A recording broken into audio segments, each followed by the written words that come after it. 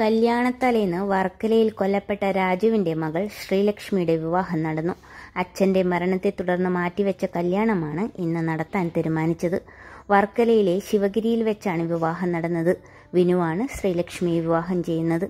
കല്യാണത്തിന് മുൻപ് അച്ഛന്റെ ഫോട്ടോയ്ക്ക് മുന്നിലും അച്ഛനെ സംസ്കരിച്ച സ്ഥലത്തും എത്തി തൊഴുത് പ്രാർത്ഥിച്ചിട്ടാണ് ശ്രീലക്ഷ്മി വിവാഹ മണ്ഡപത്തിലേക്ക് പോയത്.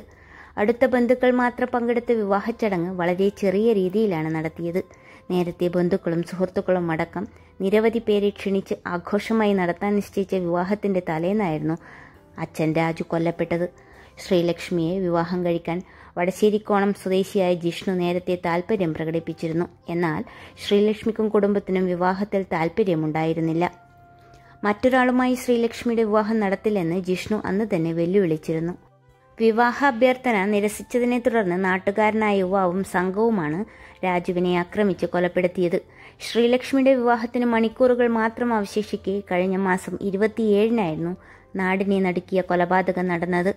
കല്ലമ്പലം വടശ്ശേരിക്കോണം സ്വദേശി രാജുവിനെ നാലംഗ സംഘം വീട്ടിൽ കയറി ആക്രമിക്കുകയായിരുന്നു.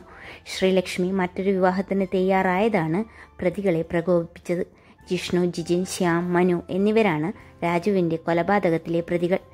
കല്യാണത്തലേന്ന് വീട്ടിൽ ബന്ധുക്കൾ അല്ലാതെ മറ്റാരുമില്ല എന്ന് മനസ്സിലാക്കിയാണ് പ്രതികൾ ശ്രീലക്ഷ്മിയുടെ വീട്ടിലെത്തിയത്. ആദ്യം ശ്രീലക്ഷ്മിയുമായി വഴക്കിട്ട പ്രതികൾ ശബ്ദം കേട്ട് ഓടിയെത്തിയ രാജുവിനെ ആക്രമിക്കുകയായിരുന്നു എന്നാണ് പോലീസ് പറയുന്നത്. ഉടൻ തന്നെ ആശുപത്രിയിൽ അദ്ദേഹത്തെ എത്തിച്ചെങ്കിലും ജീവൻ രക്ഷിക്കാൻ കഴിഞ്ഞില്ല.